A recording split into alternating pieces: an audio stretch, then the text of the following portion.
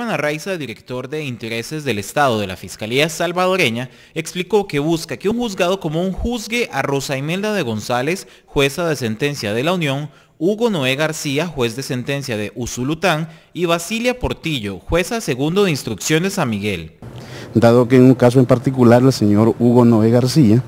emitió una resolución en vista pública celebrada el julio del año 2016, en donde condenaba a dos sujetos por homicidio agravado a 20 años de prisión. A la hora de emitir el fallo por escrito, mantiene la condena de 20 años de prisión para uno de los eh, condenados, pero al segundo le cambia el grado de participación de coautor, como había sido condenado, a cómplice necesario y le modifica la pena de los 20 años dejándosela en 13 años con 4 meses. Will Walter Ruiz, jefe de la Unidad Especializada contra el Crimen Organizado, mencionó que también pidieron antejuicio para Joaquín Francisco Molina Linares, juez primero de instrucción de Atiquillaza, René Danilo Ramírez Montoya, juez primero de paz de Metapán, y Miguel Ángel Barrientos Rosales, juez primero de paz de Santa Ana. Por el delito de prevaricato,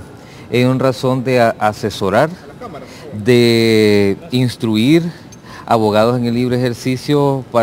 con el objeto de que estos obtuvieran un resultado favorable a sus intereses. Arraiza además presentó un recurso de amparo en contra de dos magistrados de la Cámara Especializada de San Miguel que pusieron en libertad a 13 acusados en el llamado caso Conexiones porque venció su tiempo de detención. En el caso Conexiones fueron procesados empleados judiciales, pandilleros y miembros de una estructura de narcotráfico por negociar sobornos a cambio de favores judiciales. El fiscal dijo que esa sentencia ya está firme y a su criterio no pueden hacer ninguna modificación. Ante la Corte Suprema de Justicia de El Salvador, los jefes fiscales pidieron a los magistrados de la Corte Pleno retirar la protección constitucional a los jueces.